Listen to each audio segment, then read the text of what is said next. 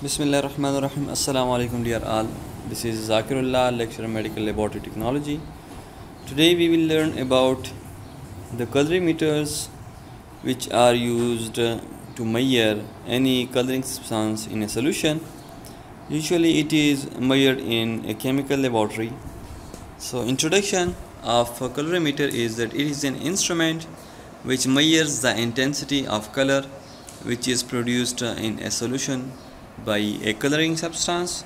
The simple white light it is a part of a visible spectrum can, uh, which is a continuous spectrum. This visible spectrum is a mixture of uh, energy waves and they have the range of 400 to 700 nanometers. The violet color has the shortest wavelength that is the 400 nanometer and the red color has the longest wavelength which is 700 nanometer. We can see in this diagram this uh, about the 400 nanometer. This is the visible spectrum. This is the spot and the range from where the visible spectrum starts. And this is the range where it ends so in between this 400 to 700 nanometer it is a visible spectrum and we can see all the colors which falls in this wavelength range. The ultraviolet it uh, starts at 400 nanometer and below 400 nanometer ultraviolet starts and after 700 nanometer there is a zone called the infrared. And the invisible range starts below 400 nanometer and after 700 nanometer. So these are the ranges where we cannot see any kind of color or we our eyes cannot detect the wavelength of these areas. So the wavelength of the visible uh, spectrum that is separated by a glass prism or a water droplets in the air. This white light then separates into seven different colors. These colors are violet indigo blue green yellow orange and red. Uh, simply we can call it the Vibgyor and uh, in the visible spectrum most of the colors they are composed uh, of a range of wavelengths not uh, they are not of a single wavelength but they are composed of a range of wavelength. The light of a single wavelength is called a monochromatic light and it shows us and it gives us a single color. Complementary colors these are different pair of colors and these colors are opposite to each other. When these colors are combined in a certain specific ratio they either gives rise to the white light or they gives us dark shade or gray shade. So these colors are called complementary colors. For example red and green are the complementary colors of each other. If a solution is green and when we illuminate green light and focus in on the green solution then to the that will be transmitted from the solution and no light will be absorbed by it. That's why it is called complementary colors and if the same light the same green light it is focused on a red solution then the solution will absorb all the green light and no light rays they will be transmitted. These are called the complementary colors. In uh, this uh, we can see the different colors which are complementary to each other. The violet that is complementary to yellow. Blue is complementary color of orange. Green is complementary of red and the same vice versa colorimetry it is the measurement of a solution color intensity and the colored solution. They absorb different lights of a specific wavelength and these wavelengths may be in the visible spectrum. The colorimetry is a most common analytical technique which is used in biochemical laboratory and clinical laboratory for the estimation of different solutes and different analytes in a colored solution. And that substance which is to be estimated by the colorimeter it must be uh, colored or if any chromogen is added to it so this solution and the analytes of the solution they will give rise to they will produce another uh, color. So colorimetry uh, needs a colored solution.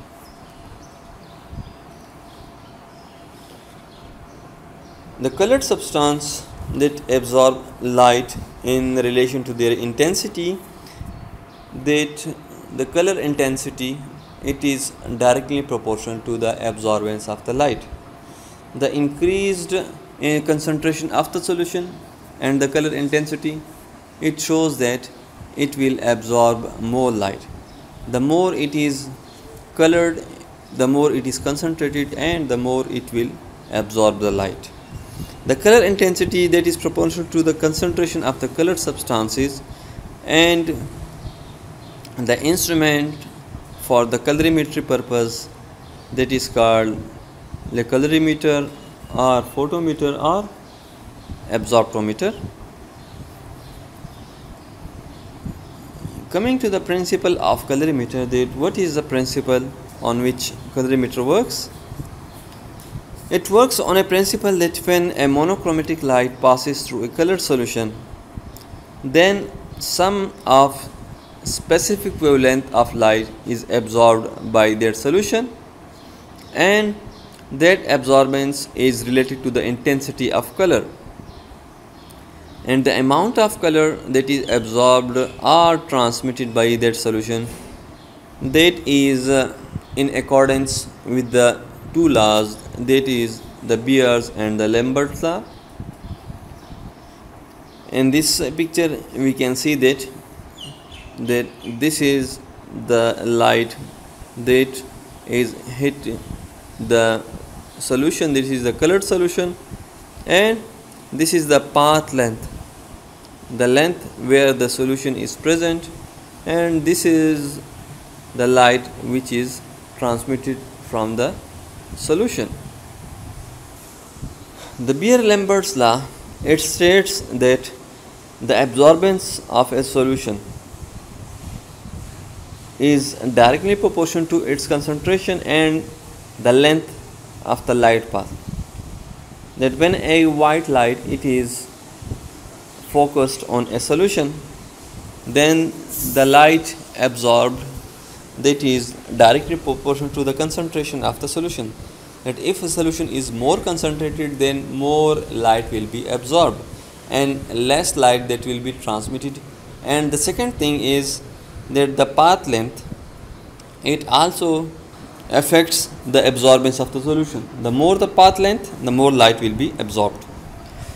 The light transmitted through a clear solution that is uh, uh, decreases exponentially with the increase in the concentration of colored solution and increase in the length uh, path length of the cuvette this is the formula from where we can find out the concentration of an analyte which is present in a colored solution.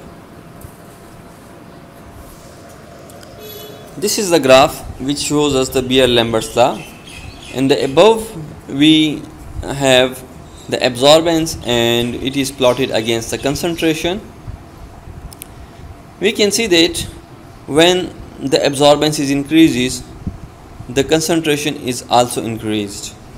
So this shows us that absorbance is directly proportional to the concentration of the solution and in the lower one we can see the percent transmittance and the concentration in this graph it shows us that uh, the amount of transmitted percent transmittance it decreases along with the increasing concentration of the solution.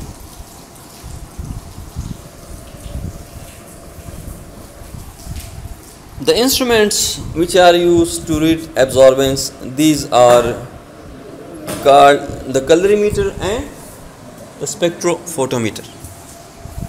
Colorimeter is uh, an instrument which is used for the absorbance of a solution and absorbance can be measured only within a specific wavelength ranges.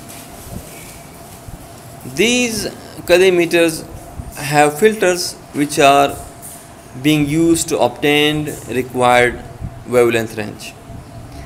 Another instrument which is used to read the absorbance is the spectrophotometer and these machines they read the absorbance with a specific wavelength and it is used when tests require reading a specific wavelength. Spectrophotometer they are more expensive as compared to colorimeter and requires greater expertise and a continuous electric supply. The components of colorimeter they include the light source, light source convert electrical energy into radiation and waves the light source it is made up of a tungsten filament or a tungsten halogen or quartz lamp and this source they emits a, a continuous spectrum of light. The condensing lens it is present in front of light after a slit. When light strikes on the lens after the slit these lens makes the beam of light parallel to each other and in a straight line. The third part is the filter. The filter separates different parts of uh, electromagnetic waves by absorbing or reflecting certain wavelengths and transmit others. We have different colors of uh, we have different types of filters that are being installed in the colorimeter. The first one is called the color filter this filter these are made up of glass substance and contain different absorbing substances.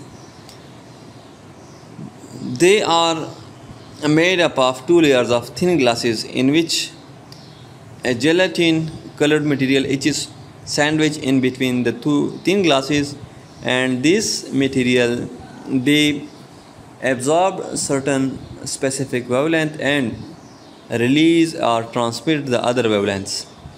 These are the color filters. The interference filters they are made up of uh, dielectric thin films which are present on a substance. These interference filters they selectively transmit or reflect a specific range of wavelength so we can select a specific range of wavelength with these interference filters. These are the different colors with their uh, specific wavelength range. Red have about 600 to 680 to 700 nanometer orange 600 round about yellow 580 green 500 to 520 blue 460 to 480 violet 410 to 430 these are the ranges of wavelength of different colors sample cuvettes these cuvettes are tubes or cups having a standard bore and a standard wall thickness. And these are usually colorless and uh, made up of high quality glasses or high quality plastic. Their shape may be square, rectangular or round and having a fixed diameter usually round about 1 centimeter and their surface is uniform. They do not have uneven or photocell or photomultiplier tube.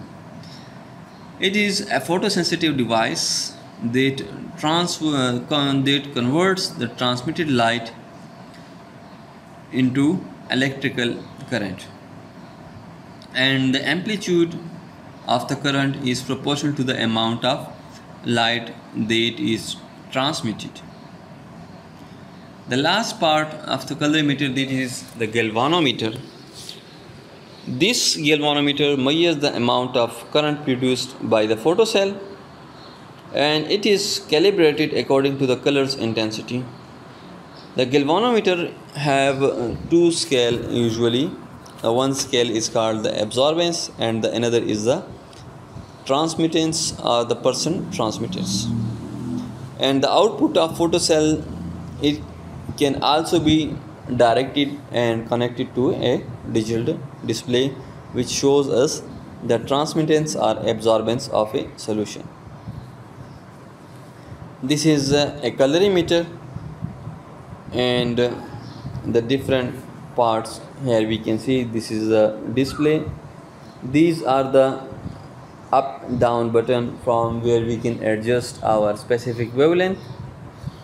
And here is the sample cuvette where we place our sample inside it. This is the on off button. So this is the general uh, purpose colorimeter. The components of colorimeter include the absorbance readout and the wavelength and the mode indicators this shows us the mode and the mode buttons increase or decrease button the wavelength control which uh, sets us a specific wavelength. This is the 100% transmission control. This is the on off or zero control. So this is a sample holder. These are the parts or the components of colorimeter this is the path where the light is transmitted and the output is galvanometer. So initially a light source made up of tungsten or halogen or quartz it transmits a simple white light of visible spectrum. In between in the path of this light source there is a slit and this slit allows only that radiations which are uh, in the direction of the cuvette then a lens is present which straightens and which makes the radiation parallel to each other. After the lens there is a filter and this filter this allows only a light of specific wavelength that is called the monochromatic light. And these monochromatic light have a range of specific wavelength these light when strike this sample cuvette which have the colored solution this colored solution absorb certain radiations and transmit certain light. So the transmitted light it is struck with the photocell. This photocell this converts the light energy into electric current and this electric current it is given in the form of percent transmittance or absorbance by this output or galvanometer. So this is the light path and this is the working of a colorimeter